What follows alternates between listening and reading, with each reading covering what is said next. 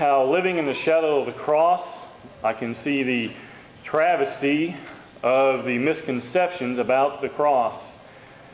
When we say misconceptions about the cross, we mean those who have misconceptions about the cross. There should be no misconceptions about the cross because as we look at the Bible and we look at it uh, in context and putting everything into place, we find those events surrounding the cross become very clear.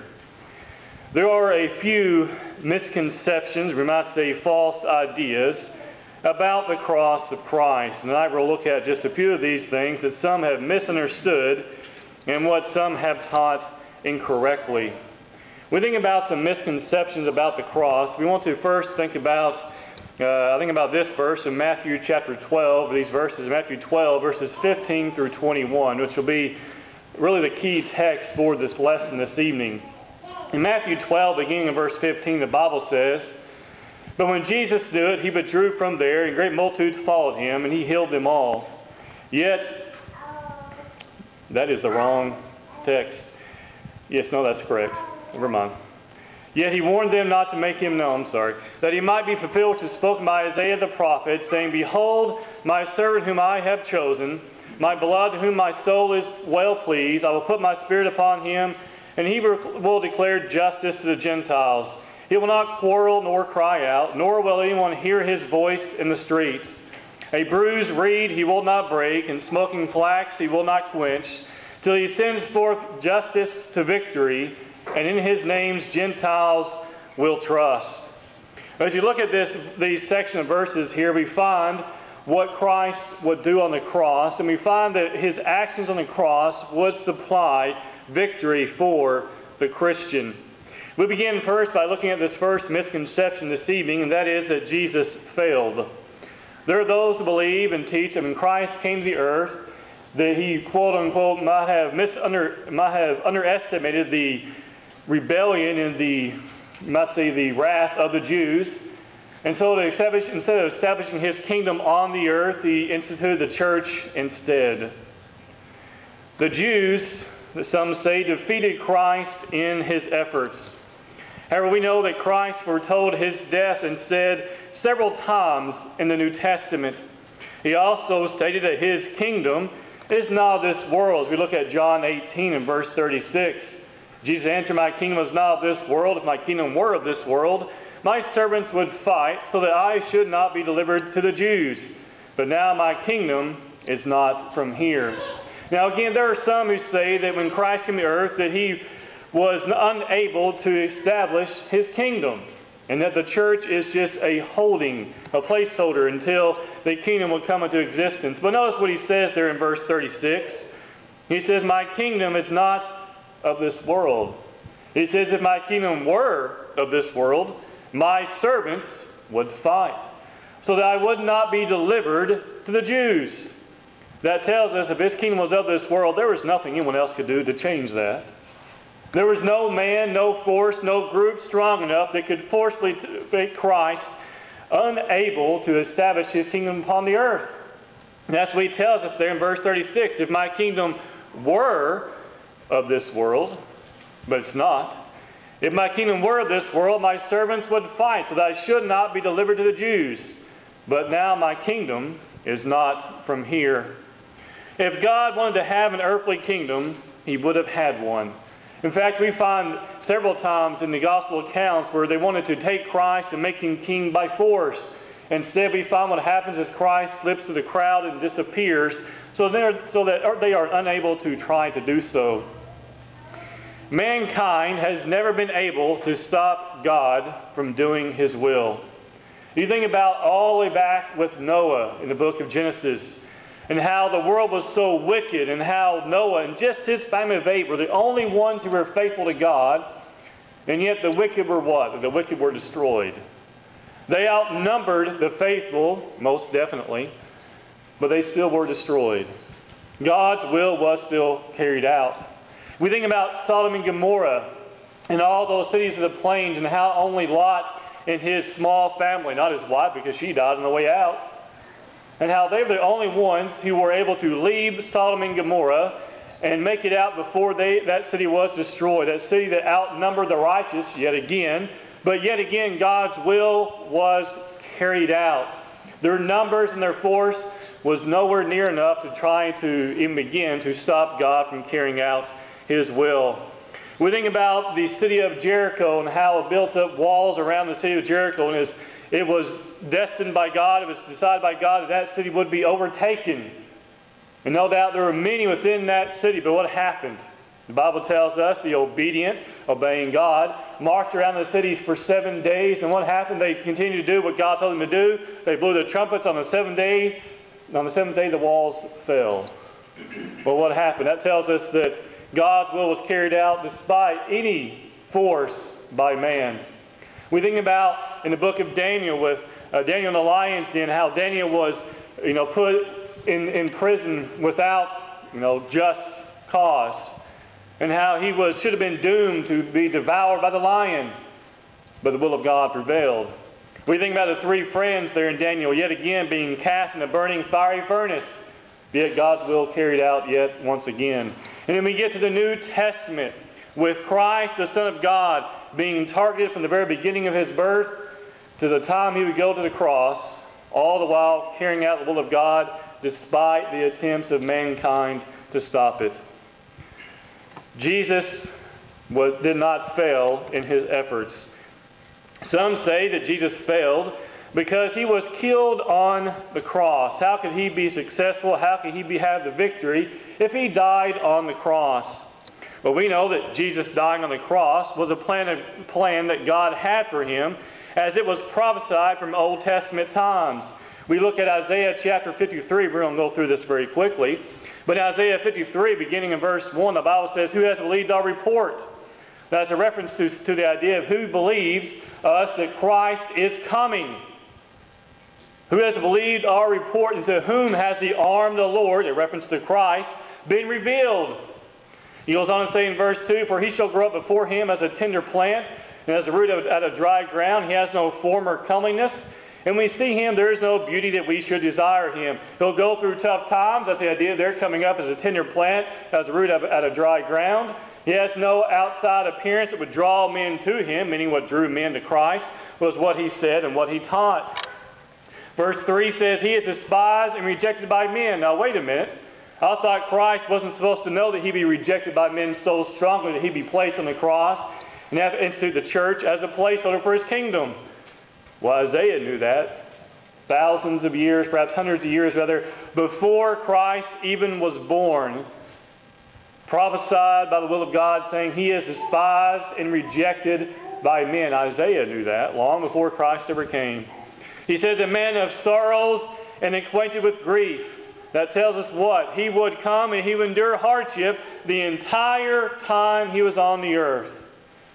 Yet, supposedly, Christ underestimated the Jews.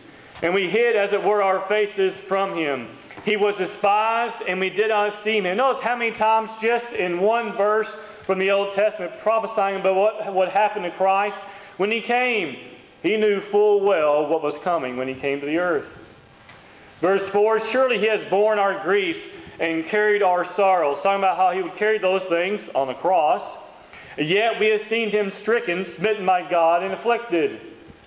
Christ knew he would endure hardship. Verse 5 of Isaiah 53 it says, But he was wounded for our transgressions, he was bruised for our iniquities. The chastisement for our peace is upon him, and by his stripes we are, all, we are healed.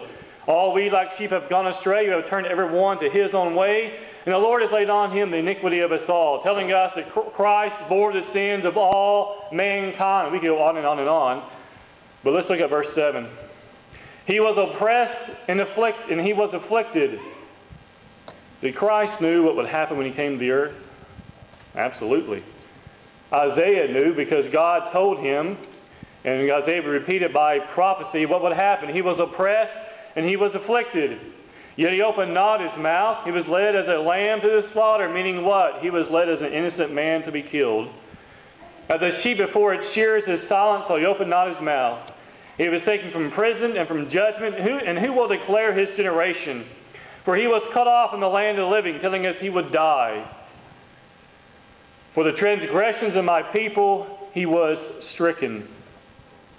And they made his grave with the wicked, there with the thieves, and with the rich at his death. They're talking about Joseph of Arimathea taking his body, and also him being placed in a brand new tomb, which was only done by those who were wealthy, because he had done no violence, nor was any deceit in his mouth.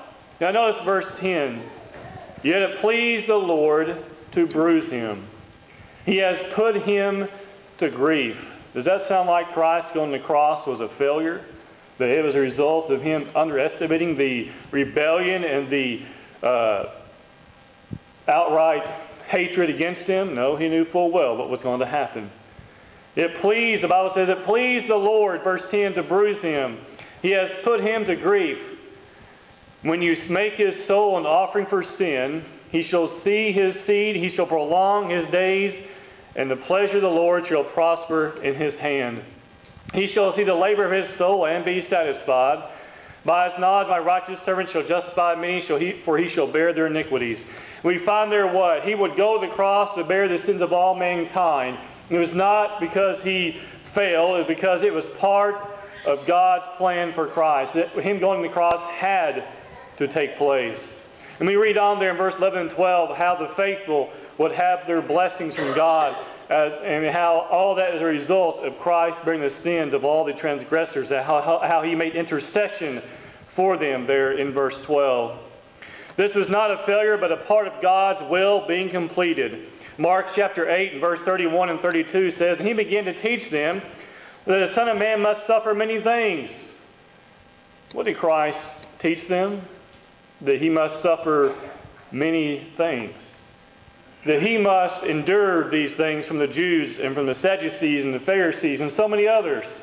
And he says, and be rejected by the elders and chief priests and scribes and be killed. Christ going to the cross was something that was put in place by God long before Christ ever came to the earth. And after three days, rise again, verse 31. He spoke this word, now notice openly and we find that Peter once again puts his foot in his mouth and tries to take Christ aside and rebuke him for what he was saying. Christ knew what was coming. He knew what had to be done to fulfill the will of God. John 10 and verse 17 and following says, Therefore my Father loves me because I lay down my life that I may take it again. Does that sound like Christ was overwhelmed by the Jews? No. Does it sound like he was overwhelmed by all those who despised him and he was taken to the cross by force? No. He says there in verse 17, Because I lay down my life that I may take it again. And notice verse 18, No one takes it from me. But I lay it down of myself. I have power to lay it down, and I have power to take it again. This command I have received from my Father. Therefore, there was a division among the Jews because of these things. And many of them said, He has a demon and is mad. Why do you listen to him? Notice how the Jews responded to Christ, saying that he knew what was going to take place. They said, Well, he has a demon. He's crazy. Why do you listen to this man? Look at verse 21. Others said, These are not the words of one who has a demon. Can a demon open the eyes of the blind? They're saying, He doesn't sound like a man possessed. He sounds like the Son of God. We know that Christ dying on the cross would deal a crushing blow to Satan, as you find also mentioned way back in Genesis 3 and verse 15, and how Christ would be the one who would crush the head of the serpent. Therefore, we know the church is not a placeholder since Jesus was, was unable to start the kingdom and died on the cross. Instead, Christ had all these things as part of God's will, and he fulfilled God's will. We look at Matthew 16 and verse 18.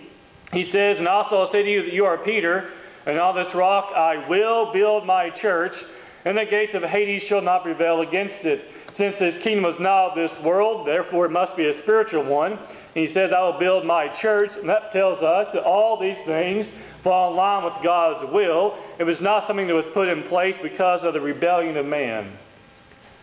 It was within the plan in the design in the design of God. So we think about the first misconception here. Jesus failed. No, he did not. He did the will of God. Our second misconception is that Jesus, concerning Jesus and Hades. Some teach that when Christ died on the cross that he went to hell because, as we're going to see here, some mistranslations and some false teaching of creeds and various things. Look at Psalm 16 and verse 10. Psalm 16 and verse 10 For you will not leave my soul in Sheol, that's hell, nor will you allow your Holy One to see corruption. Acts 2, verse 27 says the same thing. Acts 2 verse, 2, verse 31 says, He, foreseeing this, spoke concerning the resurrection of the Christ, that his soul was not left in the Hades, nor did his, his flesh see corruption. Uh, chapter 13 of Acts, of Acts, in verse 35, Therefore he also says another psalm, You will not allow your Holy One to see corruption. Well, why do we talk about Jesus and Hades? Because there are those who believe and teach, and there are many writings that teach that when Christ died, he went to hell. We, in fact, we look at what's known as, uh, as we look at some ancient writings, what's known as the Apostles' Creed, states that states who was conceived by the Holy Ghost, born in the Virgin Mary, suffered under Pontius Pilate, was crucified, died, and buried, and descended, and descended into hell. The third day he rose again from the dead. He descended into hell. Who is hell reserved for? The disobedient. But Christ wasn't the disobedient, was he? The book from the Apocrypha, known as the Gospel of Nicodemus, as it's so called, claims that Jesus descended into hell, and that's, and that's not all, and retrieved all the Old Testament saints, including Adam, David, Habakkuk, and Isaiah. Isn't it interesting the Bible never mentions anything like that?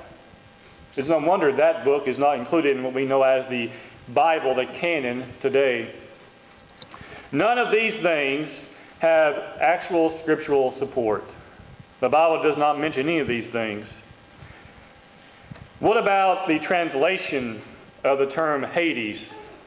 Well, due to some translations, translating Hades as hell uh, has added also a lot of confusion. The term Hades is not always referred to Gehenna, but also can refer to the Hadean realm. The Hadean realm is the place where the deceased await judgment. Paradise and torments are part of what we call the Hadean realm. However, Christ himself reveals where he will dwell after his death until his, until his resurrection. And so we think about where did Christ dwell? Well, the Bible tells us, and in fact, Christ tells us. As you look at here in Luke chapter 23 and verse 43, when he says, Surely I say to you, when he speaks to the thief on the cross, today you will be with me in paradise. So he wasn't in torments, he was in paradise, which is part of what we know as the Hadean realm. So when we talk about Hades, we have to make sure we understand what we're talking about exactly.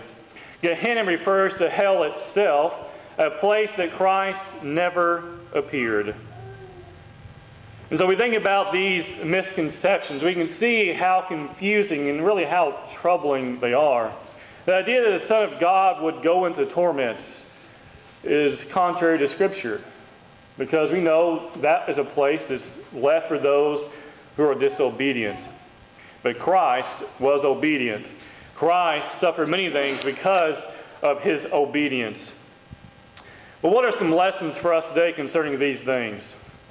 Well, there are some misconceptions as a result of man's shortcomings and misunderstandings, but they are not a result, they do not come about because of the Word of God, do not come about because of God Himself. They come about because of man's simple misunderstandings and man's also uh, adherence to creeds as well. But we know the, that the blood of Christ was poured out not because he was defeated, but because he was victorious. We look at Matthew chapter 12, verses 15 through 21. That's exactly what's being talked about there. His blood will be shed for mankind. Look at verse 18. Behold, my servant whom I have chosen, my beloved, whom my soul is well pleased. I will put my spirit upon him, and he will declare justice to the Gentiles. He will not quarrel nor cry out, nor will anyone hear his voice in the streets. A bruised reed he will not break, and smoking flax he will not quench, till he sends forth justice to victory. And in his names Gentiles will, will trust. Well, that's a reference to Christ. He would bring about ultimate victory and he has brought about ultimate victory. We have victory through the death of Christ on the cross and also through his resurrection. As you look at 1 Corinthians 15 and verse 57, the Bible says, But thanks be to God who gives us the victory through our Lord Jesus Christ. And so we think about this idea of Christ being defeated upon the cross, it's ridiculous. He cannot be defeated. He's the Son of God. Instead, he carries out and did carry out the will of God on the cross. Look again at verse 57. But thanks be to God who gives us the victory. The victory through our Lord Jesus Christ. Christ going the cross was the plan of God. Christ's death also leads to victory over the second death. Not only does Christ give us the victory over sin by giving us a chance to have our sins forgiven by the blood of Christ, but also gives us the victory over the second death, which is spiritual death. That is going into a place we know as the place of fire and brimstone, as the book of Revelation says, is the second death. Christ's death brings the ultimate victory. We look at 1 Corinthians 15, verse 54 and verse 55. So when this corruptible has put on incorruption, and this mortal has put on immortality, then, then shall be brought to pass the saying that is written. Now he's talking about there in verse 54, when we leave our physical bodies and we are, we are transferred into a in, immortal body that does not decay, that is going into the heavenly home.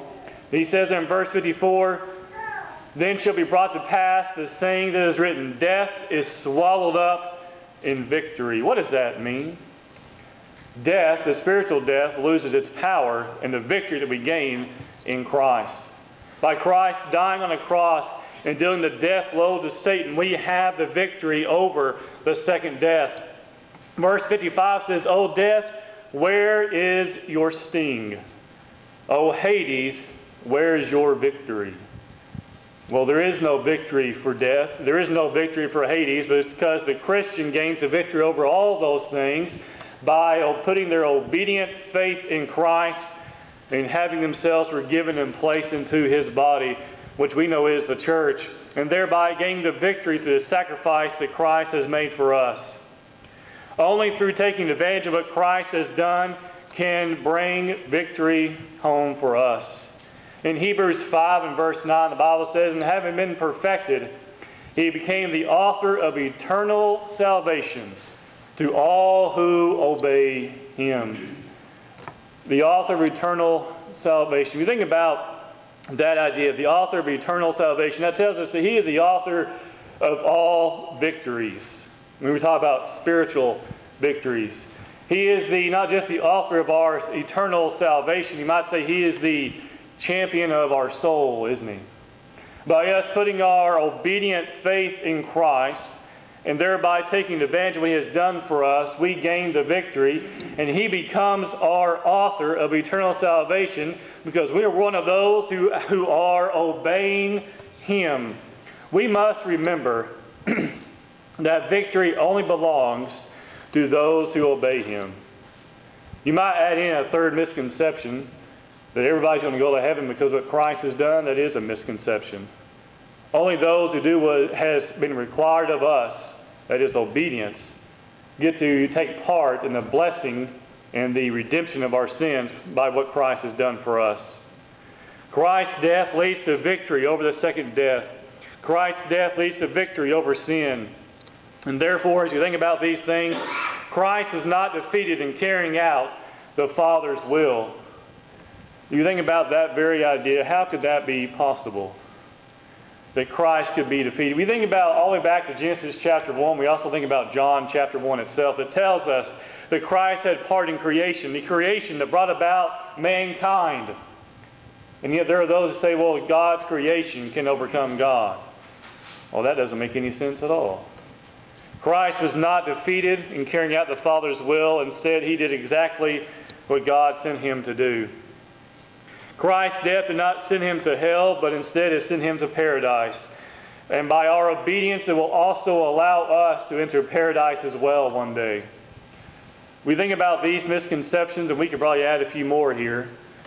We look at the Bible, it's very clear. Christ gives us the victory. Christ gives us the hope of eternal life. Christ gives us the ability to miss the torments, the pain, and all those things that await those who go on to the second death. We get to bypass and skip all of that if we put our obedient faith in God. And that's not a misconception, that's the truth. You know, we need to replace those misconceptions with actual Bible facts and actual Bible teaching. Because when you look at the Word of God, there is no room for misconceptions. There's no room for false ideas and, uh, and traditions of men.